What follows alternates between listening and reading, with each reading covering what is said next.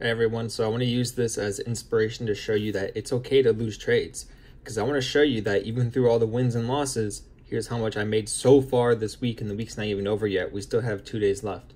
We have Thursday and Friday. So look at this. So here, as you can see, live account.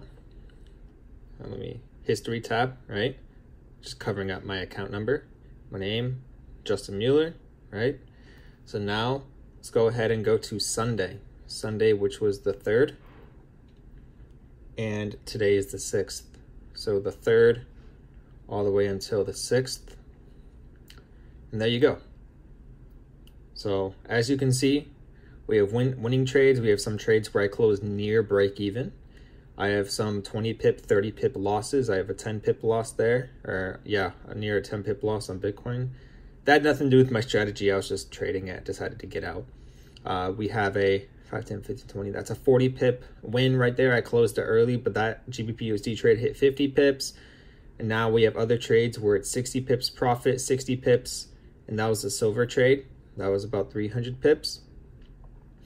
So, yeah, or that one was almost 100 pips. I closed silver at 100. And uh, I just did multiple trades on that one, so it kind of added up to, I believe, over a thousand. So as you can see right here this week, $1,627, even though I had losing trades.